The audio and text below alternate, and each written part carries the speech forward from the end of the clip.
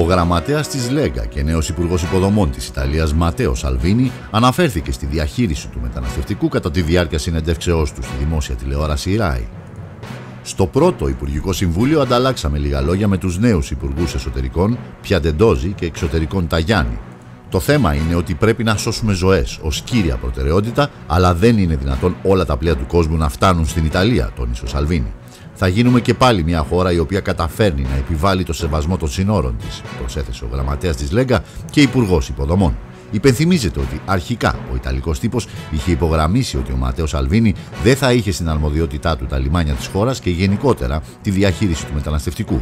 Μετά τη συγκρότηση της κυβερνήσεως Μελώνη όμως, οι κινήσεις του δείχνουν ότι θέλει να καταφέρει να συμπεριληφθεί στις αρμοδιότητές του η εποπτεία των λιμενικών εγκαταστάσεων.